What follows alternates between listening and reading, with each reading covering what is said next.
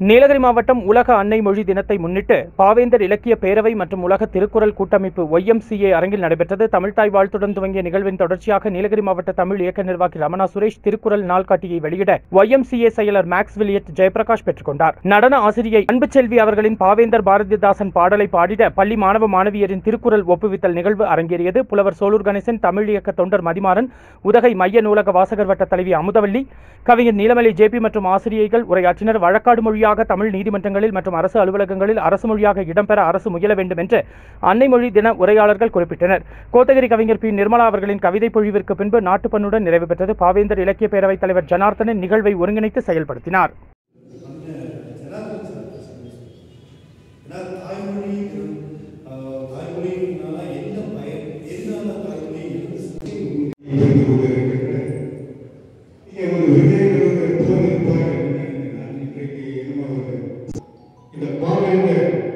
Independently